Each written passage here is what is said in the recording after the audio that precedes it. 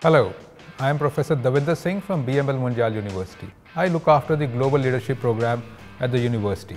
We take our students to places like Warwick, London, and they get to study their subjects over there. Not only that, they also get to meet up with students who have come from different parts of the world.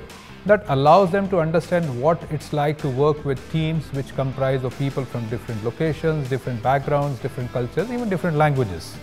Okay. Now this what this helps them do is that they learn new things. They also get to know how to work with people from diverse uh, locations. And of course, while they are there for about several weeks, they get to enjoy a place like London or Warwick and, and get to know about the places. Okay. I will look forward to taking uh, our students over there. It's great fun. Students have enjoyed it.